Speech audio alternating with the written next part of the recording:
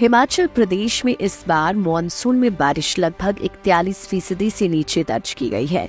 प्रदेश के सभी जिलों में बरसात सामान्य से नीचे चल रही है।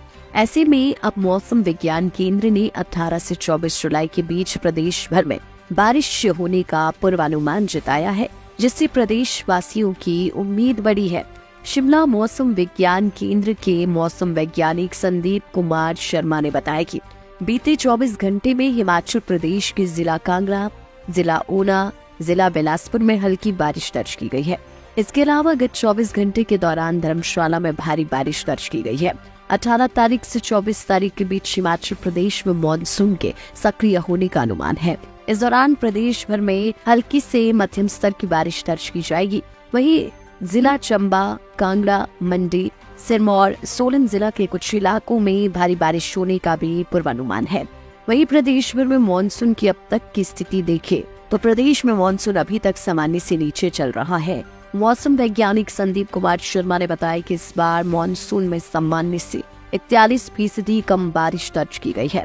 हिमाचल प्रदेश के सभी जिलों में बारिश कम दर्ज की गई है। वहीं जुलाई महीने में सिर्फ़ मंडी और कांगड़ा में सामान्य बारिश दर्ज की गई है। इसके अतिरिक्त बाकी सभी जिलों में मानसून कमज़ोर नज़र आया है।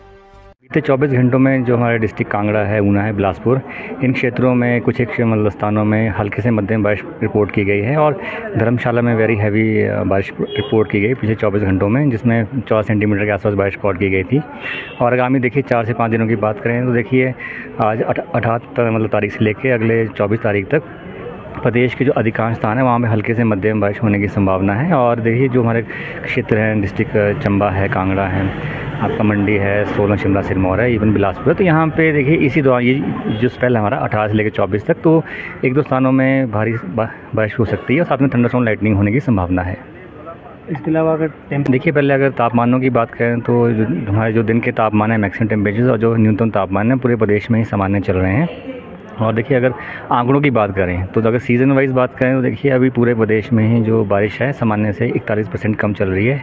जितने भी डिस्ट्रिक्ट हैं बारिश, उन सब में मतलब बारिश सामान्य से कम है। हालाँकि अगर जुलाई माह की बात करें एज ऑन डेट तो उसमें केवल दो डिस्ट्रिक्ट हैं जहाँ पर सामान्य के आसपास है, जिसमें कांगड़ा और मंडी है, जहाँ मतलब सामान्य के आसपास बारिश रिकॉर्ड की गई से जो डिस्ट्रिक्ट है, वहाँ जुलाई माह में भी सामान्य से कम बारिश रिकॉर्ड की गई है।